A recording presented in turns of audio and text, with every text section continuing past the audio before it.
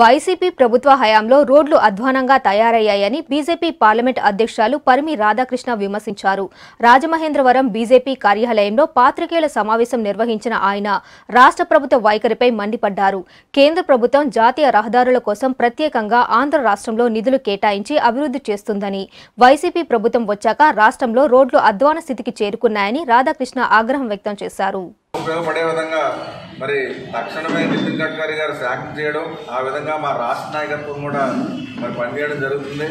ఏదైతే మేము సాధించి నిర్మాణం చేసి ప్రారంభోత్సవాలు చేసే ఈ రోడ్లని మరి కొంతమంది నాయకులు మేము లెటర్ ద్వారా సాధించామని ఫోటోలు పెట్టుకుని ప్రచారం ఆర్పాట ప్రచారం చేసుకోవడం తప్ప మరి ఏ విధమైన కార్యక్రమాలు కూడా ఈ రాష్ట్ర ప్రభుత్వంలో ఉన్న ఎంపీలు కానీ ఎమ్మెల్యేలు కానీ చేపట్టే పరిస్థితి లేదు. మనం డిఫరెన్స్ చూడొచ్చు ఈ రాష్ట్ర ప్రభుత్వం యొక్క రోడ్ల మీద మనం ప్రయాణాలు చేయాలంటే కనీసం ఒక నలభై యాభై కిలోమీటర్లు వెళ్ళాలంటే కనీసం రెండు గంటల పరిస్థితి.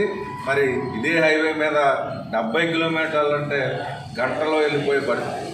ఇంకొక ముఖ్యమైన విషయం ఏంటంటే గామన బ్రిడ్జి మీద గామన బ్రిడ్జి వరకు ఏలూరు నుంచి గామన బ్రిడ్జ్ వరకు గంటలో ప్రయాణం చేస్తే గామన బ్రిడ్జ్ని దాటాలంటే గంటన్నర మరి పట్టే పరిస్థితి ఉంది మేము అనేక సార్లు అధికారులకి గామన్ బ్రిడ్జ్కి రి- రిపేర్ చేసే విధంగా మనం ధర్నా చేసినప్పుడు కొంత పురోగతి సాధించినా కానీ అక్కడ బ్రిడ్జ్ టోల్ గేట్ యొక్క పరిస్థితి చాలా అధ్వానంగా ఉంది. దాని మీద కూడా త్వరలో మేము పోరాటం చేస్తాం. ఎందుకంటే ట్రాఫిక్ చాలా ఎక్కువ ఉంది.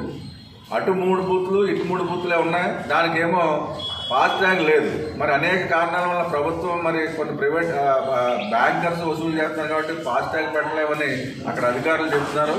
మా మా మా సూచన ఏంటంటే కనీసం ఒక సైడ్ ఆరు బూట్లు పెట్టే పరిస్థితి ఉంటే కానీ అక్కడ అంత చక్కటి రోడ్డు మీద ప్రయాణం చేసి అక్కడికి వచ్చేటప్పటికి మరి చాలా విసిగెత్తే పరిస్థితి ఉంది. ఇప్పుడు కొవ్వూరు నుంచి మేము బయలుదేరి ఆఫీస్కి రావాలంటే కామన్ బ్రిడ్జ్ మీద నుంచి ఇరవై నిమిషాల్లో రావాలి.